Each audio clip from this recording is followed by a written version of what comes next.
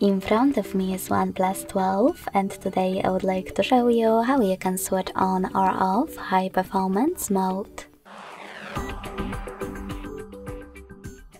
Begin by opening settings and scrolling down to access battery.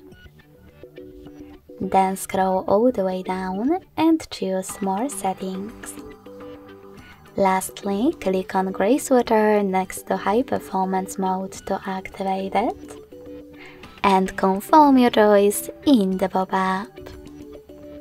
As you can see after that, High Performance is on. If you wish to switch it off, click on the same No Blue Sweater.